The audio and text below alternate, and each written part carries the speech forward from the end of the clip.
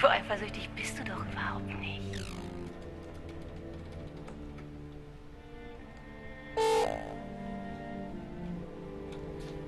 Weißt du, da kannst du dich ja gleich trennen. Was soll denn das?